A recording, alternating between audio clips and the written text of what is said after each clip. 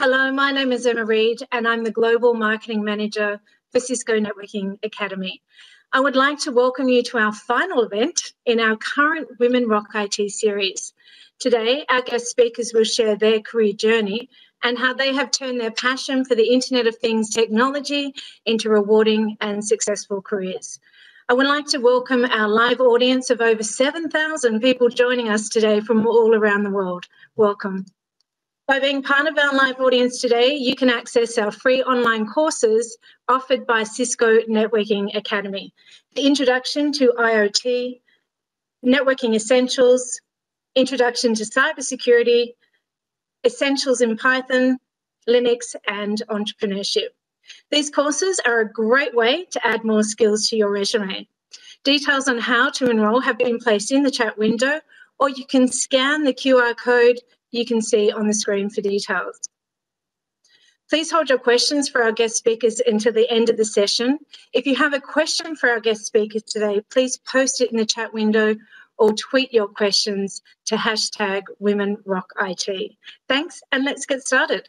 I'd like to introduce our guest speakers. Flavia Tata Nardini, who is a trained rocket scientist and space industry star who has won InDaily's and First Among Equals 40 Under 40 awards. Flavia graduated in aerospace before becoming a space engineer. Her first startup was a space engineer uh, and education company, sorry, called Launchbox, who taught school students how to build 3D nano satellites. And she's now the founder, co-founder, and chief executive of Fleet Space Technologies. We will also hear from Susie George, a co founder who built the next generation of umpiring assistant technology in cricket. Susie brings her broad range of skills and capabilities to deliver faster umpiring decisions with greater certainty using innovative sensor based sports technology. But first, we'll hear from Flavia, who is joining us from her offices at Fleet Space Technologies in Adelaide, Australia. Welcome, Flavia, and thanks for joining us today. Thank you so much, Emma, for the introduction, and welcome everyone from uh, for the start chat. We are very excited. I'm talking to you from beautiful South Australia, Adelaide. Very lucky state, you know. In this point in time, I'm in my office, so I'm not quarantining. So I, really strong thoughts for everyone that is following us from lockdown situations. So I'm gonna um, talk to you a little bit about myself and my journey as an entrepreneur in uh, space tech. Um, next slide. So um, let's go back a little bit many years ago, not so many. I am uh, just 37 right now, but you know, I was a little lady once, a little girl. I'm Italian, so I was born in Italy. And uh, I I'm part of a very big family of five, in which almost all of them are engineers or very low with engineering capabilities. I was loved with space. Um, it's hard to tell you why this happened. I really, since I was a little girl, was very passionate about space activities. I was passionate about uh, stars and building rockets um, sometimes I just think that that was the destiny of my of my entire life. I do uh, I did study though was not just simply dreaming, and I I became um, an aerospace engineer. So I started my bachelor and a master engineer in space. Uh, I really fell in love with um, rockets as all the women do. And I really started studying them properly and uh, found a job in the European Space Agency. That's kind of the NASA in Europe, uh, working in all sorts of things from uh, components for rockets to another topic that was very small satellites. So when I graduated, um, small satellites were starting to become an interesting topic in the space industry.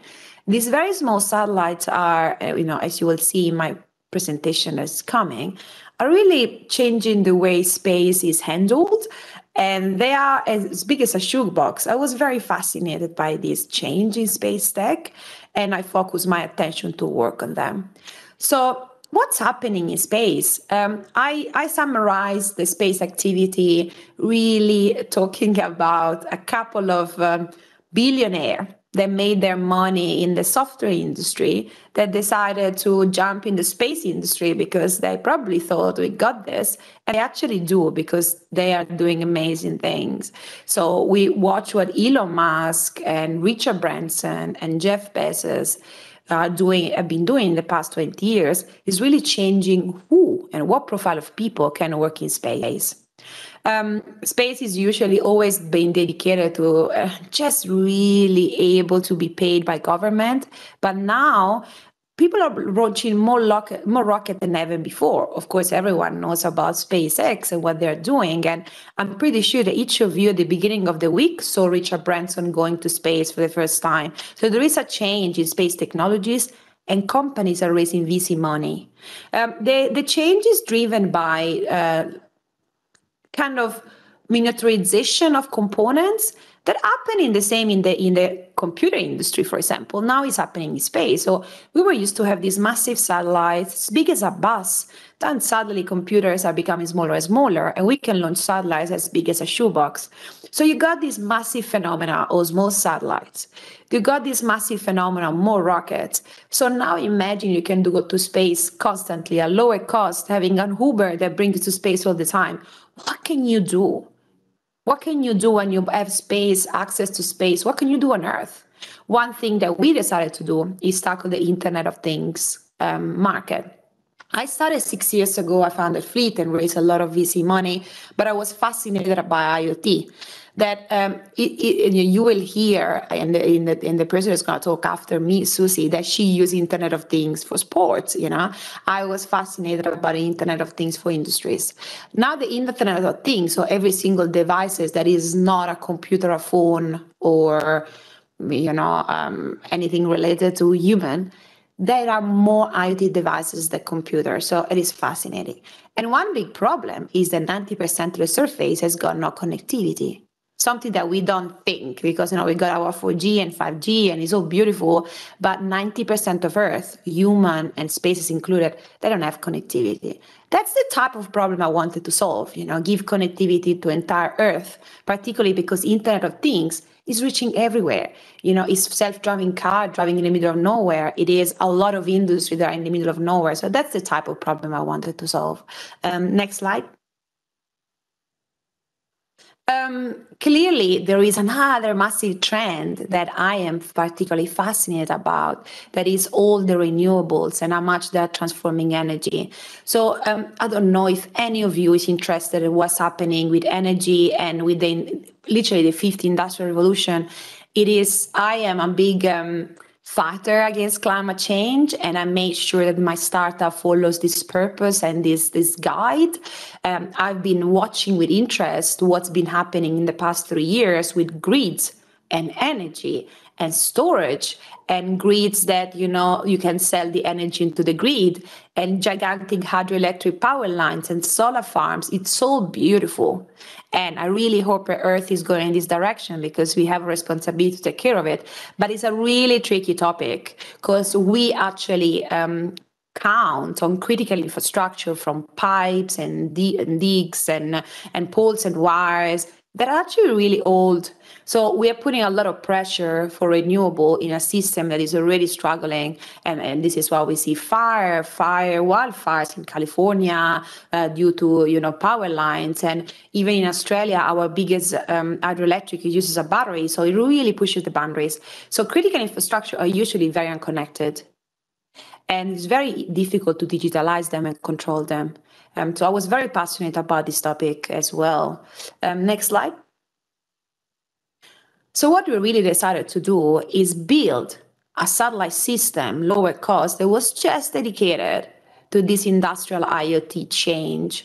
So dedicated to protect and monitor um, energy distribution uh, assets and resources. So I, you know, when I saw the fifth industrial revolution was happening, I wanted to be part of it. When I see that most of the companies around the world are trying to digital assets, uh, digitalize many type of assets to make sure that we protect Earth, that we, implement renewables, I wanted to provide connectivity that is important for them to leverage. And we have done that in a pretty complex technologies, you know, very, very advanced technologies. Next slide. so uh, the, the, the trend of industrial IoT is a bit different from consumer IoT. So in consumer IoT, you got cities, so yourself with Alexa and Google Home and all sorts of things that happen on city level. On the satellite level, you have to think that what we're interested about is industrial IoT. And industrial IoT, they've got really critical um, requirements. Bear in mind that industrial, in, in non-industrial IoT, people still put human in cars you know when there is a blackout in poles and wires in energy people in cars go and try to look where the pole is down. So our entire society and the most important thing to us that are energy gas and water they sit on very little visibility. So all this critical infrastructure they are moving into providing an iot solution to have visibility and leveraging new protocols there is no Wi-Fi, there is no Bluetooth. They're inventing new protocols. in the past 10 years, um, a lot of players around the world have been building new uh, and, and, designing new protocols like LoRaWAN, NB-IoT, long-range protocols. So we are in the middle of a time that is very similar to the time when GSM was built. You know, there, there, was a world protocol at the time, and GSM became the protocol for the, all the phones, the protocol that we use around the world. We are in another similar time in history where um, they're building new amazing protocols. And for everyone new that listens, this is a very interesting topic for, for IoT in general, not just for industrial IoT. Because, you know, when I started six years ago, there was a massive hype on IoT, but now it's happening. And LoRaWAN and NB-IoT, there are hundreds of hundreds of millions of devices out there that have been connected and trillion. So it's important to understand that this is something that's going to change the world and it's very complex is not easy. Internet of Things is complex. Uh, sometimes I feel like the very beginning of the internet, in which you, people had a computer and everyone loved it, but looked at it and say, "What am I gonna do with it?" Ah, you know, I saw um uh, interview to Bill Gates and someone asked him, "But what is the internet?" And he was like, "You know, it's a place where you can have all the information." And the other person was asking, Okay, but what about books? So, you know, there is this point in times when people invent things and no one understands. Internet of Things is very similar. But there are technology that enable Internet of Things, and we were very interested in, uh, in all this connectivity side of the story. Uh, next slide. Uh, I, I, believe, you know, the connect, well, connectivity is there. You, you can make it happen. This is, I want to uh, push everyone to think that this is a massive market. So we got uh, because you know it is for each of you that are listening to us is the is the world that we're going to live in the next 20 years so you've got space industry that is booming we got the SpaceX of the world, the, the Virgin and the, the Jeff Bezos of the world, uh, trying to you know to reach Moon and Mars and doing amazing things and enabling the low Earth orbit. This is how we call it around Earth to deploy satellites to, to save her, to help Earth. You know, to have a different vision on Earth to provide connectivity and photos and data.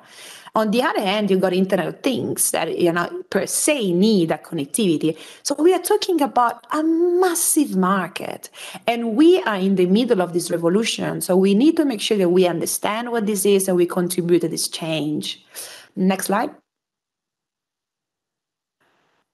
So um, we use three technologies, so uh, we, we call it massive IoT, so gigantic uh, arrays of devices that can gather data for everything, that collect data and send it to this constellation of small satellite in what is called low Earth orbit. The satellites are very small; they fly like a flock of bees. You know, you've got hundred of them going around the world, touching touching with connectivity the all the different sides of the world. So you're literally building the digital nervous system of Earth from space. Um, next slide.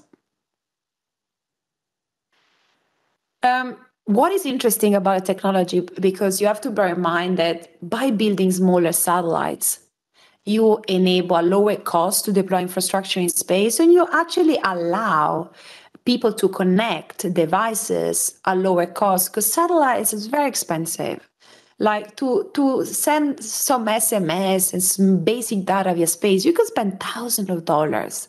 So how do you enable this proliferation of devices with very very small satellites? That was my personal entrepreneurship journey that was very very hard. So you know and we have been nerds and we love it. So when we started we decided to take this interesting communication system that is inside the F-35 and putting into a small satellite that is this size and create something that is called beam forming. So beamforming are the technologies that are really improving 5G and they are really kind of changing the way communication is done. So we are in the in a moment in the verge of a of a new way of providing connectivity but i've got a video um, that i would like to show you to explain to you what space iot and beamforming is all about so if you can play the video you will see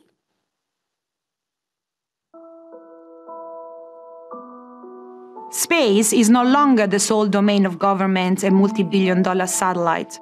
Space is open for business. And we are only just starting to tap into what is possible.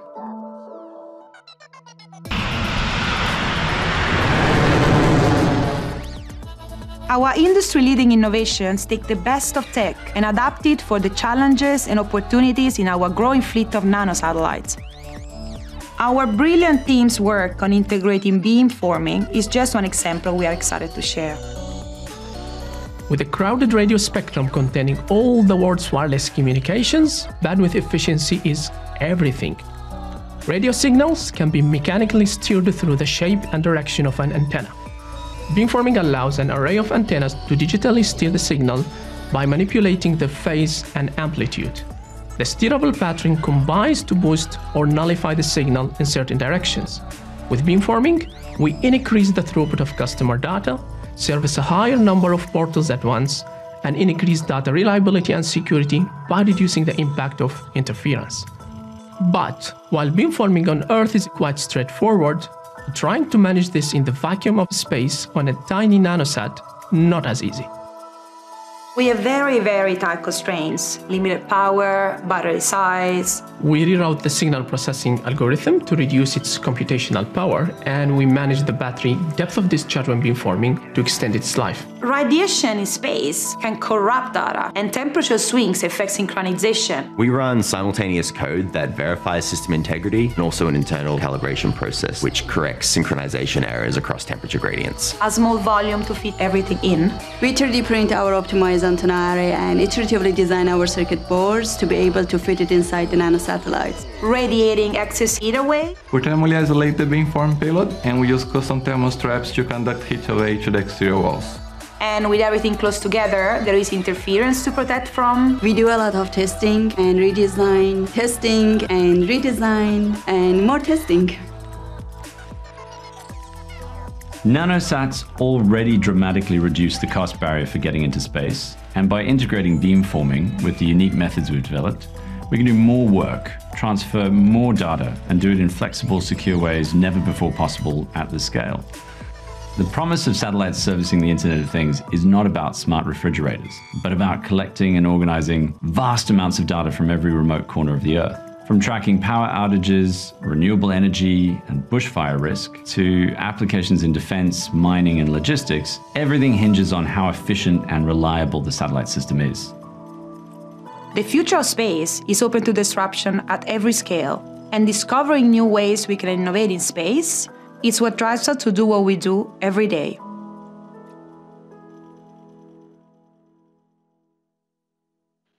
So we built some breakthrough technology because the reality is that when you want to do things and, ch- and change the world and do it such a large scale, it's not just a piece of cake. You need to build something different that no one has ever built. So we built this amazing digital beamforming system in the satellite, and we built this gateway on the ground that allows every single IoT devices to backhaul through satellites. And this, the build of these two R&D projects was a lot of work and a, and a lot of brains of software engineers and, uh, and electronic engineers and embedded engineers. It was just a, a really a group of very smart people trying to push the boundaries of what is possible. Um, next slide. Um, we have so far launched six satellites. So our fleet, we uh, get um, we we started in Australia. I moved from Europe. When I came to Australia, Australia didn't have a space agency yet. Um, I moved here eight years ago. Fleet is six years old, and uh, it was it, just the idea of building a space startup out of Silicon Valley was pretty um, uh, out there six years ago. A lot of people told me, hey, if you have to build a space startup, you should go to the Valley. And I think space is up there. So no matter where you work from, and you know, I built a family in Adelaide. I was here, so I just wanted to demonstrate to all the people that told me this will never happen that I was really able to do it. So we raised money with the biggest VC in the country. And with that money, there was a little tiny amount of money. We launched four satellites in one year, demonstrated what we wanted to do, kept going. This year we have launched other two, and one is on its way. So we have launched six satellites. And the goal of our constellation is to launch 140 more.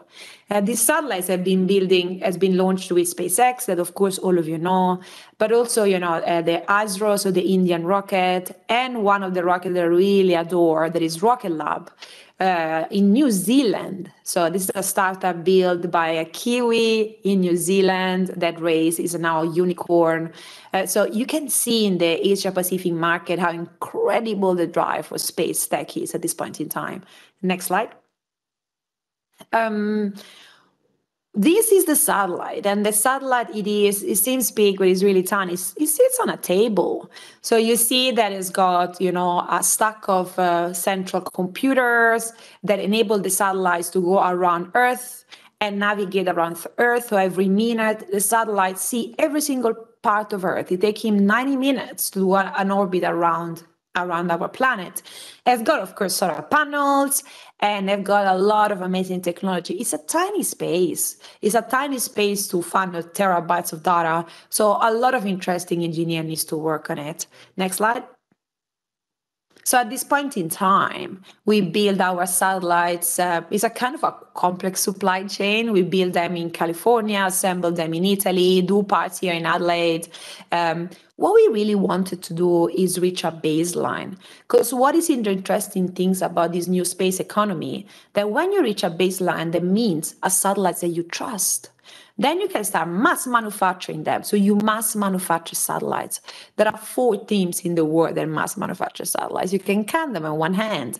And now Fleet, uh, particularly with the launches of the latest two satellites, Centauri 3 and Centauri 4, we reach a baseline. And we absolutely adore these satellites. They work very, very well. So we are starting mass manufacturing in this year, so moving to a much bigger facility where we can literally manufacture them has to do with a computer and a laptop and launching them anytime soon.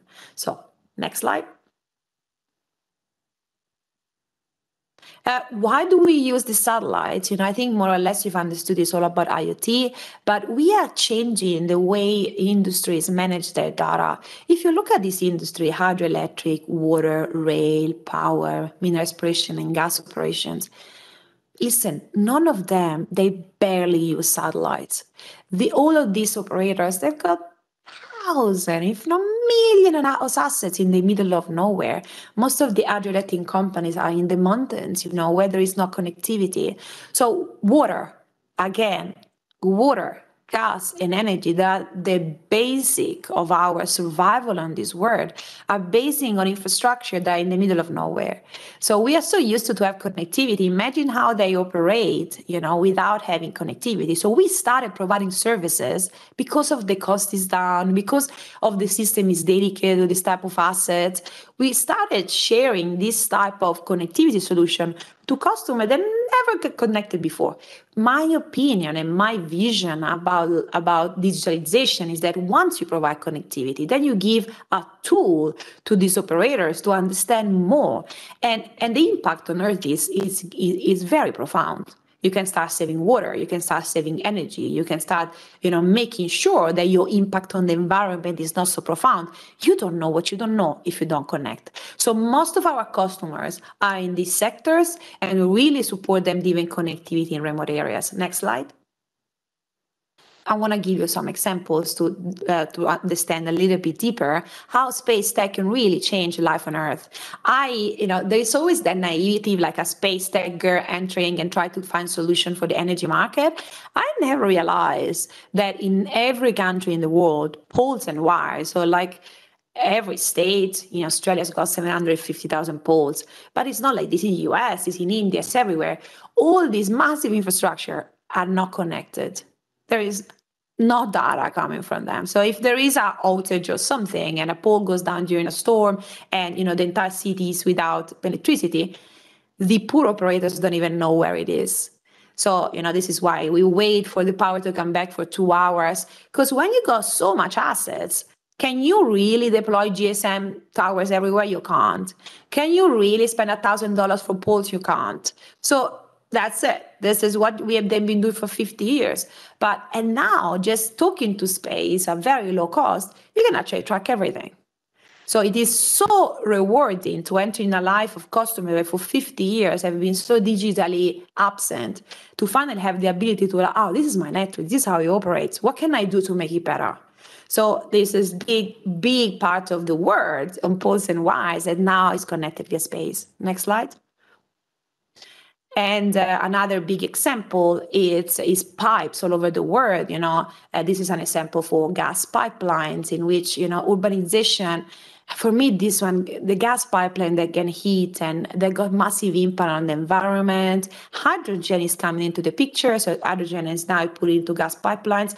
And you know, if you if you believe it or not, all the gas pipeline in the world are monitored by people going up and down with a car on thousands of miles and kilometers of pipes everywhere in the world.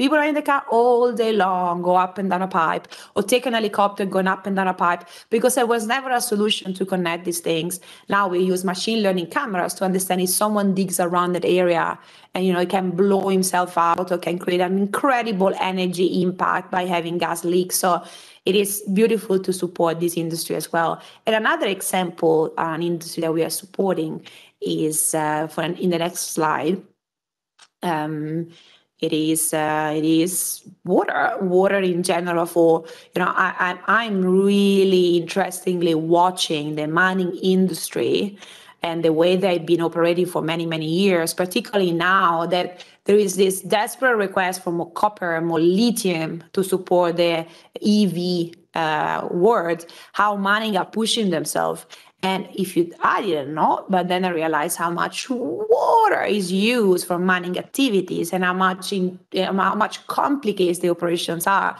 and very unconnected and very in the middle of nowhere. And they need to go and drill to find things. We don't want them to drill where they don't have to drill. So what can space help with this? So we actually really support this industry to try to make it more sustainable and try to protect Earth in the way they operate.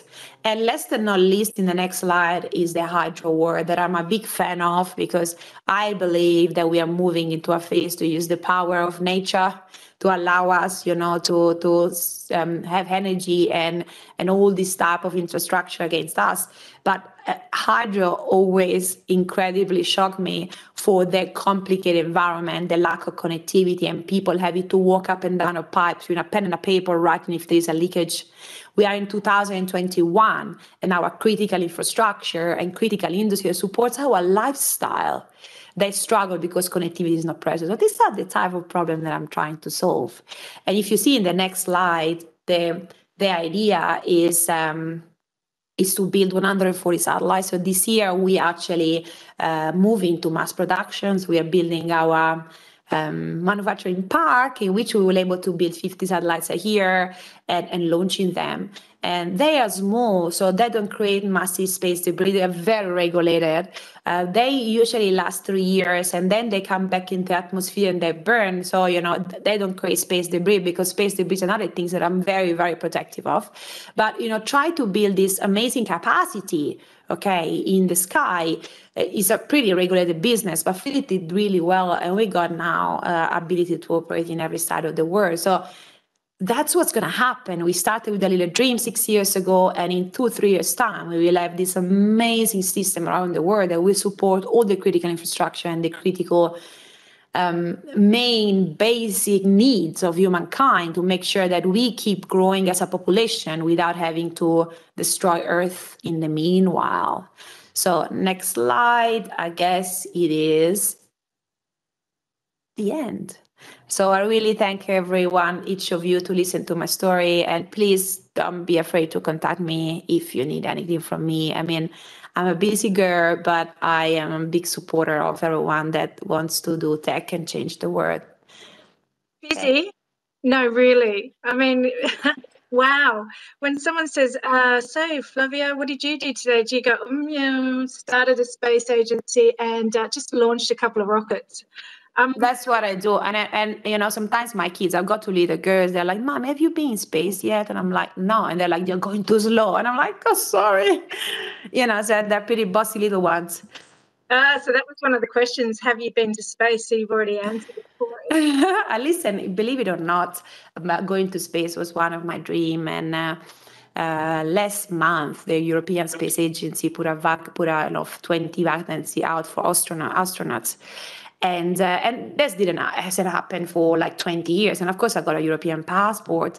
So i went and saw the criteria and realized that i meet most of them together with 20000 people. But i thought how amazing is that at least i meet the criteria? So i applied you know and i went to my 80 or so and my list there's been 20000 applications but the simple fact the honor of having applied, I think it was great for me. And she was like, "Yeah, yeah, you need to follow your dreams, mom. Go and conquer." So, uh, I, again, there's been twenty thousand submissions, so I'm not gonna probably go to space.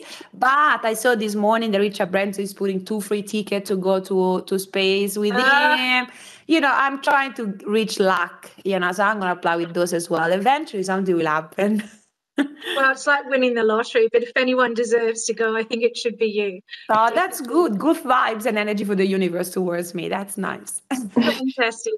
All right, we're going to try. We're going to hold questions for you now, Flavia. We're going to actually go across now to our second speaker, um, Susie George, who's the co-founder at MyCall by Sports Tech Industries. Susie also joins us from her home in Adelaide. Welcome, Susie, and thanks for joining us today. Thank you, Emma. It's a real pleasure to be here. And Flavia, that was just amazing and inspirational um, to, and, and really just out of this world. So, um, thank you everyone for having me today. And first, I wanted to start by sharing a little bit about my story and my journey. I grew up as the oldest of seven children. I grew up in Adelaide, in Australia, um, and really with very little money and resources and also wasn't able to access formal education until I started in year eight, which is the first year of high school um, here in Australia. So, as I was getting ready to speak to you today, I was really reflecting on opportunities that I believe to be available to me growing up in that environment. And I just had very little context for possibilities, especially as a female. And what I hope to do for you today is to provide some context for um, opportunities, perhaps either in sport or in technology broadly, and ways that you can access them. And I was thinking about the courses that Cisco offering um, today that I know Emma's mentioned. And one of the things I really love about them is that they are free. And for people who, there's just still so many people who grow up and live in poverty and with very little access to resources. Having programs like this be free um, creates opportunities that don't discriminate. And I just, I really love that. So um, I think they're wonderful opportunities for everyone to get involved in and find out ways that you can further your opportunities within technology. Um, for someone like me growing up, having access to it for free would have been absolutely crucial. Um, there just wasn't much to go around, and, and certainly not for further education like that. Next slide, please. So, looking forward from my childhood, I began formalised education in year eight. And it was actually at school that I eventually met my husband, and who's now also my co founder, um, Peter George, who's there um, in the picture. I came from this context where I just had very little very little background or context for opportunities. Um, and Pete, even as a teenager, was a really big dreamer. He had this big, huge dream that he wanted to play cricket for Australia and he was just so certain that he would achieve it. And I was really just hooked. I was hooked to the dreams. And our life together officially began in 2007. So we've now had two children, founded Sport Tech Industries together, and Pete did eventually play cricket for Australia as part of a 14 year um, professional cricket career. My career really has been around um, primarily in law and i did a business and marketing degree. And it was this commercial education and experience alongside pete's cricket career that have really provided the backbone of the success that we've achieved so far with sport tech industries. Um, although we're both from non-technical backgrounds I think we're really just starting to understand as as a society that for careers of the future, it's just absolutely essential that you understand technology and beginning to understand how technologies, um, you know, what Flavia just explained and what I'm, are going to be disrupted by technologies of the future. And every time there's there's changes to technology that grows and evolves, and our vision has to grow and evolve alongside of it. Um, so now I'll talk to you a bit about Sport Tech Industries. Um, I'm going to use the news story today to that we used to launch our company and raise our first capital. It's a really great overview of our business and the vision and the problem that we set out to solve. Roll video, please. Meet MyCall, the device set to read cricket of this. With, of course, Ishant Sharma and the no balls, 22 uncalled. The brainchild of pace bowler Peter George, he played a test against India, but the light bulb moment came when watching one three years later in Adelaide. Ryan Harris taking the last wicket to Australia go 2 0 up, and then hold on, no, we have to wait, check the no ball and it just killed the entire moment for me. Studying engineering, frustration turned to fascination. He built a prototype. The sensor on the shoe calibrates with sensors in the ground, outlining the crease. It registers impact, and if it's outside the electronic field, MyCall will call the no ball for the umpires. They'll receive the signal as it happens. That happens by a small handheld device the size of a mobile, replacing the umpire's current clicker counting balls. The beauty of it is they can focus at the other end and hopefully make better decisions at that end as well. Forget the DRS, hotspot and snicko. MyCall has the potential to be the most relied upon technology in world cricket. It doesn't need TV cameras, meaning it can be used from internationals down to grade cricket. You've got to feel for the umpires. It's such a hard thing to watch that front line and then move their focus down to the other end with the batsman. And forget the size, most of the bulk is batteries. A flat, bendy lithium one will fix that, but requires more funding. Once that happens... We can be having a, a training within the next year and then in games, hopefully the following season. Ben Davis, 7 News.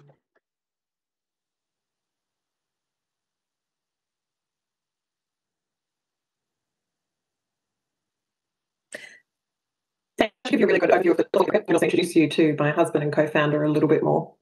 Um, since filming this video, we've achieved a number of key milestones, including funding, um, marketing, and awareness, and some key hires.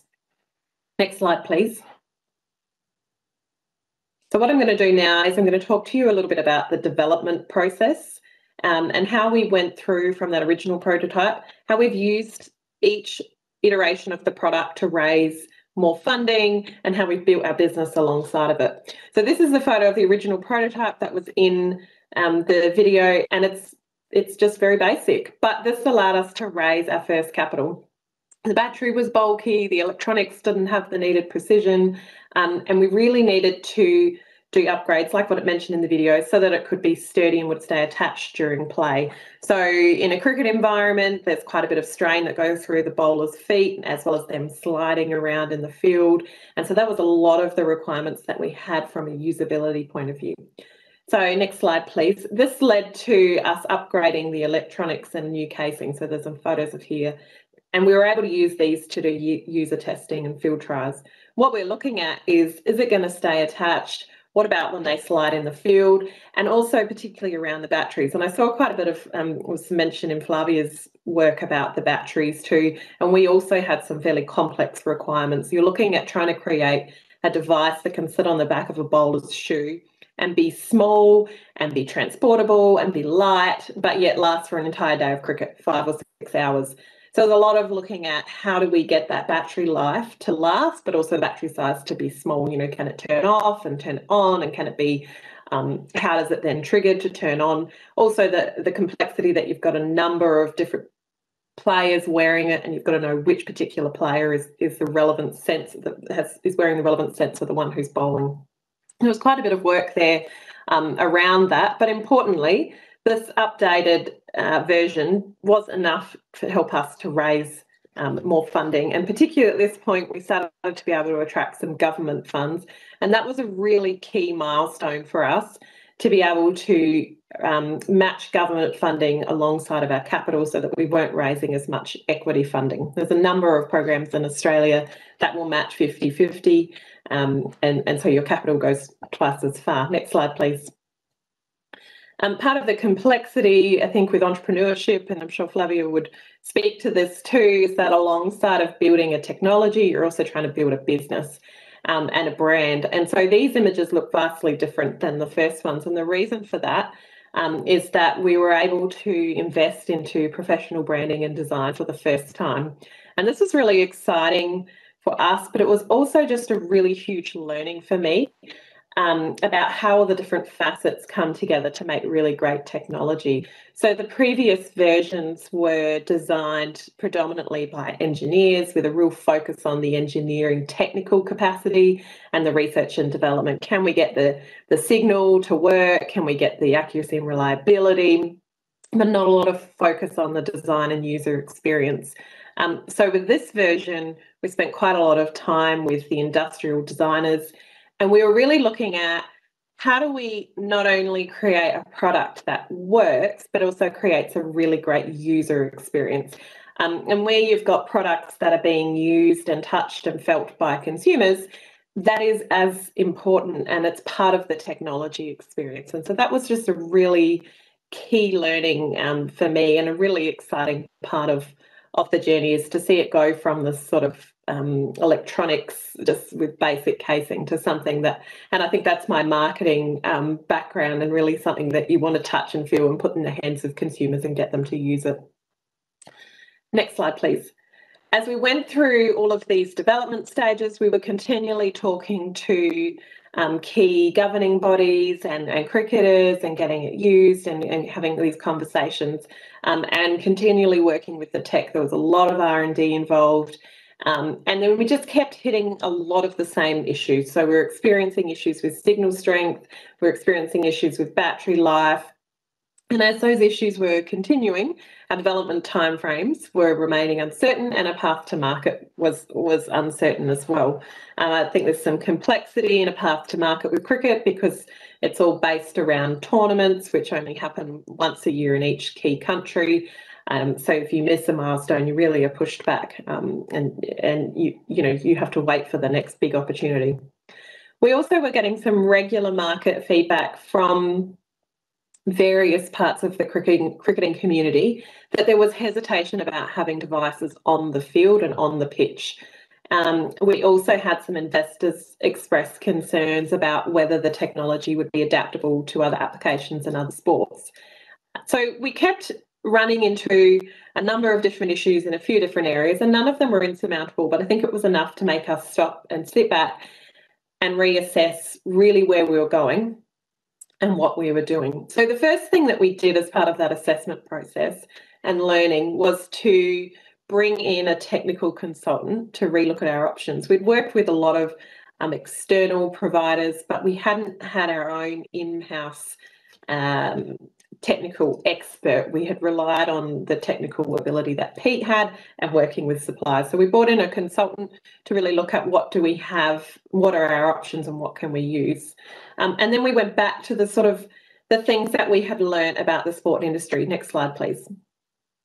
And some of those were about the challenges that are unique when putting a technology into sport. So it's a very complex environment in terms of, as I'm particularly talking about, an in-game environment. There are players, they're, you know, that just just from the, the player's point of view, they're running around, they're sliding on the field. Some of them have um, you know, pants and clothing that might obscure lines of sight. Um, and then into the broader sort of system, you've got up to 60, 70,000 fans in a in a venue, at least you used to. Maybe not so much right now with COVID.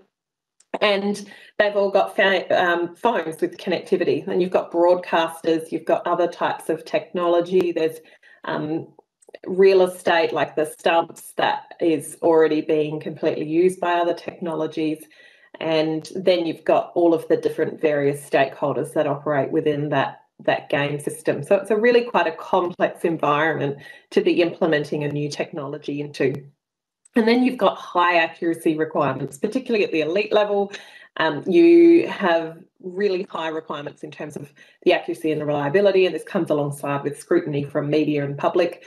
If the um, technology gets it wrong, the, the cameras, uh, the, the TV cameras, they're there and they're going to pick it up and they're going to know. And um, that's not going to bode well for your technology. And then you have a number of game security and game integrity issues. There's issues within sport globally around match fixing and bet fixing. And there's a lot of requirements that have to be um, operated within to ensure that the integrity of the game is protected. So there's really some unique challenges that we learned um, are there and have to be overcome in terms of implementing a sport within, sorry, implementing technology within sport. Next slide, please. There was also a number of opportunities, and particularly focusing on cricket, the opportunities that we had identified were around training, especially injury management. There's some existing technology providers who are working in this space um, using GPS tracking. One of them is a company called Catapult. Then it's fan engagement and, and, and providing new types of data and new ways of entertaining fans. There's a couple of uh, companies who are developing smart balls and smart bats, and then there's some a, technology which is also Adelaide based called Zing Stumps, which has bails that light up, which um, a number of you who maybe cricket fans or watchers may have actually seen because they're implemented in most T20 games around the world now. And they they create they change they've changed the way that we that we watch and that we actually engage with sport either in game or via broadcasters.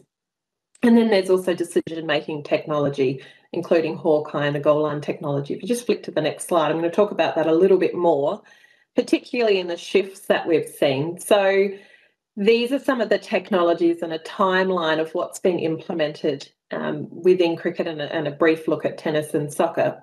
And when I analysed the trends of what's been introduced of over two decades now of, of technology being introduced into sport, what I saw is over here on the older technologies, you've got technologies that create a signal and then they require some form of manual interpretation by a human. And it provides for better decision making than has been allowed for in the past, but it creates delays in the game. And that's problematic for a number of reasons. It's problematic for fans and it's also creating a number of um, problems for broadcasters. So, the transition that we're actually seeing towards these more modern technologies are technologies that create instant signals and create the potential for instant decision making. And I think that's actually where we're seeing technology and new technologies be coming in, that they have to focus on creating a better fan experience, not just better decisions, but a better fan experience with that instantaneous um, decision making. So we put all of that together, and we we and the and the and the new direction. And what we made the decision was for next slide, please, was that our focus and our focus moving forward will be looking at artificial intelligence and machine learning technology. We're really going to be focusing on that in game environment to start with, with looking at the no ball rule that was in the video as the first step of that. And we are currently reviewing supply models for how, what that how that supply will be um, arranged. And I can't say a whole lot publicly yet in terms of the future direction, uh, but we're hoping to be making some more public annou- announcements over the next uh, few months. What I'm really excited about is the adaptability of this technology that way exceeds what we had previously. And it's going to create opportunities to shape the way that sport is played, trained, and watched down the road and around the globe. Next slide, please. When I really reflect on what we've done so far, where we've come from, what comes up time and time again for me is that where we've succeeded has actually not been where we've listened necessarily to all the way that everybody else does things, but it's where we've stepped outside of that and looked at what do we do that's different and what do I do that's different to what others do around me. And I think this is really the diversity and inclusion message. Um, and that is where we've been successful. I look at the first round of capital, which we raised in four weeks, and no one knew that that was possible. Um, we leveraged the connections that we had, we leveraged, leveraged the story that we had. And we did something that was different. There's so many great resources and education and mentoring and programming, and that forms a really fantastic uh, knowledge foundation. Um, but don't divorce it from the, the things that make you special and the things that make you unique. And so, really, I want the question that you ask yourself today is how can I stand out? Not how can I be the same as everybody else? Next slide, please. So thanks again. It was a really pleasure to be here and to share my story with you all. And I really look forward to hearing your questions and answering them. If you would like to connect with me, you can connect via LinkedIn and that QR code will take you straight to my profile. Thank you very much. Thanks so much, Susie, um, for sharing your journey with us and your innovative technology. It's just amazing um, you really don't understand how much you have to think about. And, you know, when you started talking about the security and preventing tampering of units, that, that just started my head started to spin a little bit there. Um, there's a lot going on. Okay, we're going to take questions now from the live audience. Um, we're getting a huge amount coming in. So I'm going to start with one that I think is top of mind for a lot of our audiences um, with Flavia and that is um, how do you see that fleet could actually help with climate change or work with energy companies to improve their environmental impact? If you look at the example that I gave, you know, things that I've seen in the past three years supporting these companies, uh, they go from different topics. So if you go into the hydroelectric company, something that I didn't know, like because the infrastructure and the pipes and the dams are actually quite old, um, they need to monitor them. But sometimes it happens there is a leakage and water gashes for weeks. Okay, so you just can imagine how much water get lost. Um, it is normal because it's a very complex environment, uh, but it really fascinated me that technology can actually prevent. I mean, when you think about drinkable water, we are talking about such a small fraction of the water available in the in the world. Like, and if you think about that small fraction, how much is used for us and how much is used for agriculture. So less than the past couple of years, we have done this amazing work in uh, South Australia with SA Water, in which we equipped every oval and every park of the city with uh, IoT deployments, so IoT devices. So they were tracking the soil, the weather, and all the condition of everything. And realized that, as you probably know, that most of, of us uh, irrigate in the wrong way, so waste a lot of water. So I was fascinated about the waste of water that is from your backyard to operations uh, like a hydro company. And it's just due to the lack of insight. So water is one of my top thing, you know, how do we preserve water? Um, the other things is, of course, is energy. You know, so if you look at the big change in energy, uh, they are all related on the consumer base. They are all related to solar panels and power walls. Okay, so how do you move energy into a town, into a city? You need to enable um, energies, uh, kind of these grids. Okay, so that everyone can uh, can can use solar as, energy, and solar can be profitable for you, for everyone to deploy it. Can be put into the grid. So there is a, an infrastructure exercise, and, and, and solar needs to be tracked, and solar farms are in the middle of nowhere. And most of the time, to increase their efficiency, you need connectivity. You know, so if you look at every single renewable entity, okay, it is very, it is, it is, um, they have a massive impact. So, I mean, I, am going to be a little bit more pushy on these answers as well, in a sense. Like in the past three years, a fleet, it was a startup, we needed revenue. I have no work with coal like you know like if a company comes and give you five million to work with a but, but i didn't do it. I didn't do it. You know because if you have if you want to have an impact a large scale you can make decisions.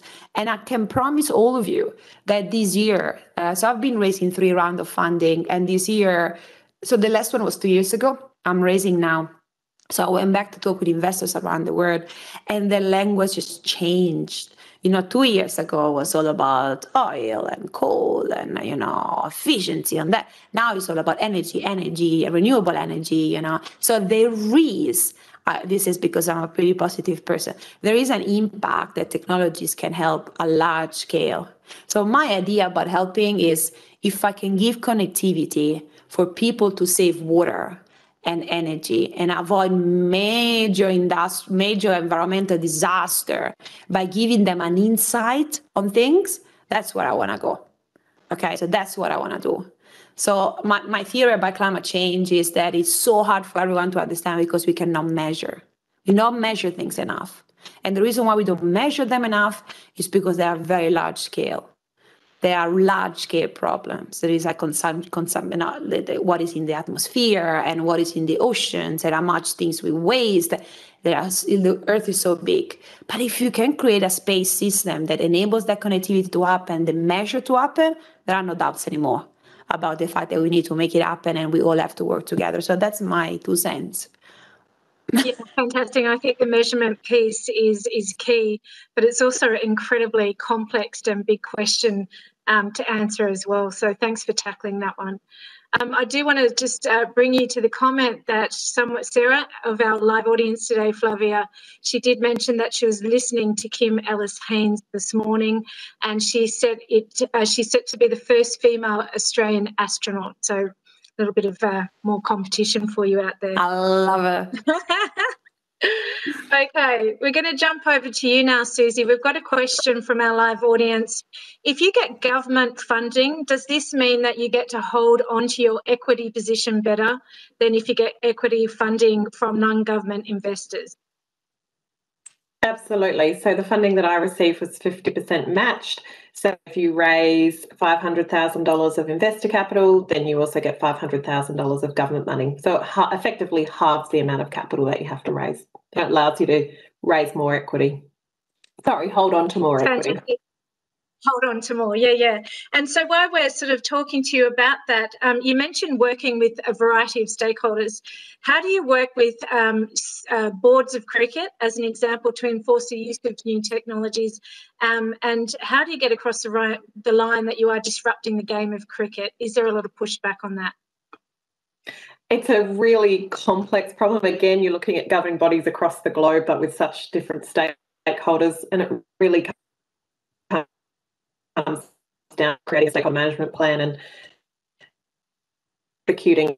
In terms of the pushback, we have to tell me how I can get on board and how I can support it. Another one is sounds good in theory, show me when it's done. And the other response we get is it won't work. And I've learned that they just fit in the three buckets. So you've just got to leverage the the ones that are really supportive and getting on board with you and, and, and really try and I think um, uh, silence, I guess, for want of a better word, and uh, the the or neutralize the ones who are who are non-supportive. And I think, as Flavia was talking about, as you go on, you start to build um, reliability and and trust and all of those. And I think those that third bucket will become less and less as you prove that it's true. Yeah, managing your stakeholders, that's really important. And so is trust. So fantastic. We could we could do whole webinars on, on that. Haven't got time today, but I might take you up on that later. um, so back to you, Flavia. Um, you mentioned that IoT isn't easy and it's really complex. How did you get going about explaining this simply when you started out trying to get your venture capital funding? Um, it's been a journey okay because when you actually want, want to try to build something that no one knows much about you know when i started it was this, at the same time everyone else was starting to understand it like cisco itself you know even big organization so i realized that the only way to understand to explain new technologies is building applications so instead of saying, okay, you know, yeah, we're gonna connect all the things, uh, you know, it's gonna be amazing. It's gonna be an in- similar to the, the question for Bill Gates. What's the internet? Internet is that thing. So if you actually explain, hey, with internet, you can send emails. And why do I have to send emails? Oh, you have to send emails because when you're at work and you want to contact someone, it will be really good to have an instant communication. So there is the way to explain it is applications. So, this is what I've learned. You know, like it's it's what look at what, um, uh, for example, Susie is doing. If we suggest pitching, yeah, I'm gonna put devices in every single spot person in the world, and that's it. That's my pitch. That is pretty cool but no one will understand it. But when you give it an example and you see the device on the shoe and what could be the impact, there are other million applications that Susie will build with that technology. But she has to start somewhere to, to explain what it is and what could be the impact. So the biggest lesson that I've learned about explaining to VCs and explaining to the world about new technology is doing them actually make them happen, make something happen. Because even small, I love the video, Susie, with the little PCBs attached on that. You should see my first satellite. You know, a bunch of crazy stuff assembled together. So once you got that application, that experience, even if it's a bit even if it's like it is, it is what people get. Because not all people are visionary. Not not all VCs are visionary. Not all finance people, not the public, don't get it. My family start getting what I do like one year ago. After four years, dinners and lunch. What, what exactly do you use the satellite for?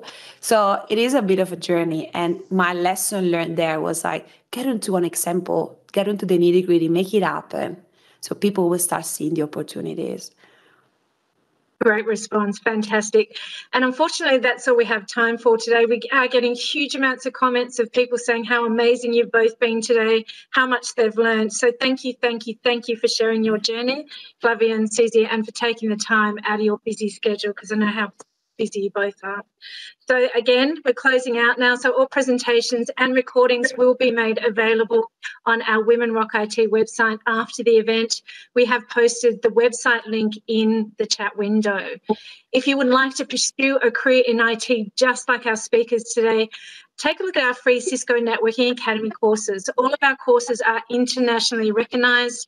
Details on how to enrol have been posted in the chat window or you can scan the QR code, which is on the screen right now with Cisco TV, to enrol into a course. Next slide, please. To find an academy near you that offers more certification aligned courses, visit our Cisco Networking Academy locator. Details on how to locate an academy near you is posted in the chat window, or you can scan the QR code on screen to enrol in a course. Next slide, please. By being part of our live audience today, you can download our Women Rock IT STEM passport. You collect all five avatars by the 1st of August, and you'll be entered to win a backstage pass with one of our Women Rock IT guest speakers. To download the passport, scan the QR code on the screen or use the link we have placed in the chat window. Next slide, please. And finally, your feedback is really important to us. Please complete and submit our survey and you'll receive a certificate of attendance. Again, thanks for attending today's event of Women Rock IT. Details of our new series launching very soon will be found by visiting our Women Rock IT website. Thanks and enjoy the rest of your day.